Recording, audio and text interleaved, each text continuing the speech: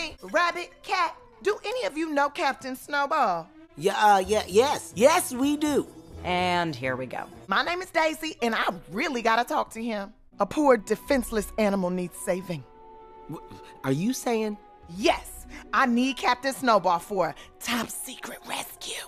All right, well, I gotta go. But nice meeting you. Uh, what was it again? Okay, you don't listen.